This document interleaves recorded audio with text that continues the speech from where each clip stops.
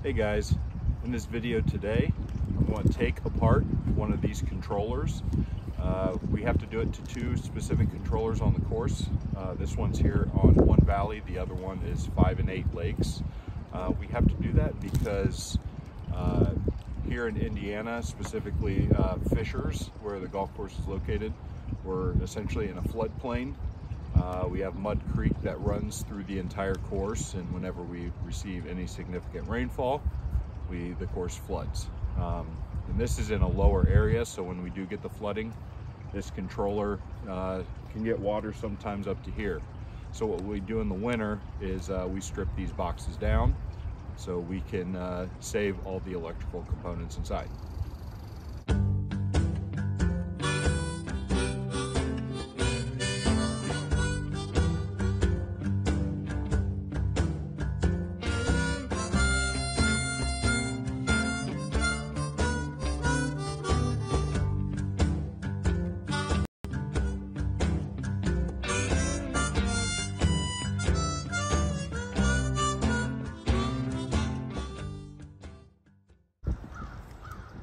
So inside here are all the OSMS boards, uh, which is each individual uh, board that you see here.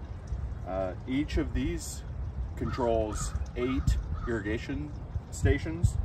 Um, so if one of these goes underwater, everything corrodes and basically eight of those sprinklers will no longer work. Uh, first couple years I was here, um, I didn't realize that uh, when we did receive a lot of rainfall in the winter, uh, that these were going underwater. Uh, what happened in the spring is when we fired up, uh, sometimes in the summer, it uh, I realized some of our sprinklers weren't working.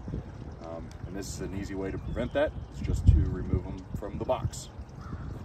We don't remove them during the summer uh, because the ground is dried out. Right now being the winter, everything is saturated, so any amount of rainfall causes flooding conditions, especially in the spring once uh, things start to thaw out, the ground starts thawing out, you get those heavy spring rains, it's uh, pretty much guaranteed that these are going to go underwater. So uh, the difference between that and summer, with the ground being dried out, if we receive three to even four inches of rain, uh, a lot of the times some of that's soaking in while also uh, running off the course at a, a pretty quick rate. So uh, in case you're wondering, well, why don't you do that in the summer? That's typically why. So basically when I do this, here's a switch here. I'm going to turn the power off and then you basically start uh, unplugging all the electrical components.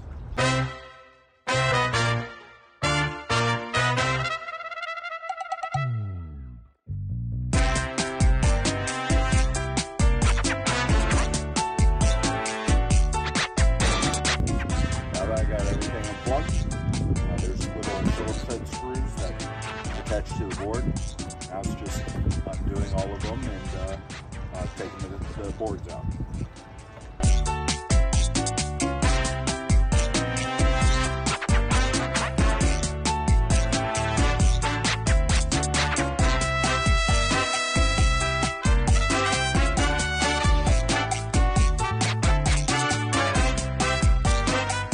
All right, so I took all the components out.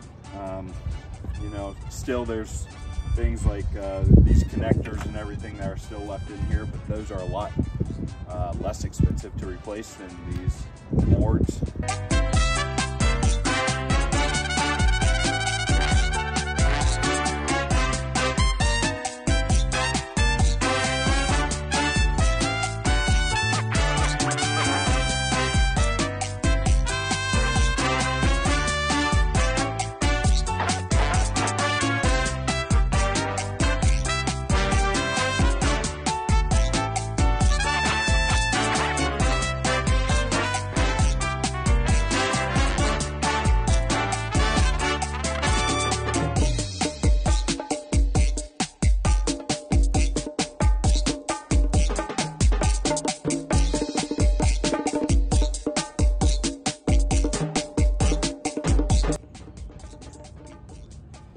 So here is a good example of one of the boards that went underwater. You can see the muckiness of it and what happens connections like this get corroded. That's what the bluish green stuff is. Um, this one still worked. Uh, luckily, it's actually, um, th this board, even though there's eight uh, stations on here, there's only one connected to it, and it's actually a really out of play rough sprinkler. So we haven't replaced it. Uh, one, because it surprisingly is still working, and two, um, if it does go down, it, it, it's not going to be a significant uh, area where we would lose turf. Um, not saying I'm going to let it go, but I'm not going to spend, you know, whatever amount of money it is for these things. Like I said, I think it's 500 um, just to get one sprinkler uh, working. So I'll just wait till I do know, in fact, it doesn't work and um, replace it then.